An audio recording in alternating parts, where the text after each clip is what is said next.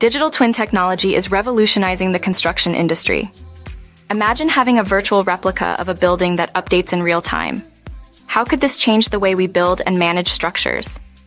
A digital twin is a dynamic digital representation of a physical asset.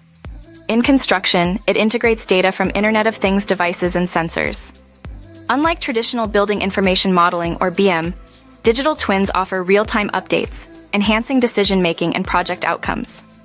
Digital twins are transforming project planning and risk management by providing accurate simulations.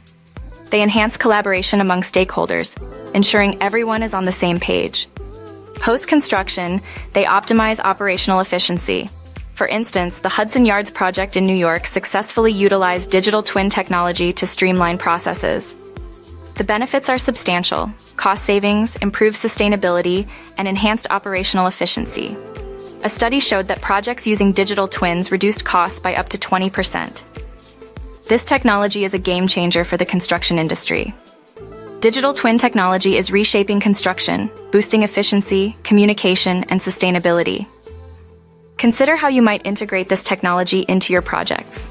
For more insights, subscribe or visit our website.